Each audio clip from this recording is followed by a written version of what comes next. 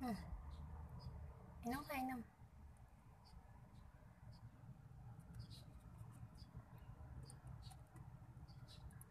Ayan. Very good.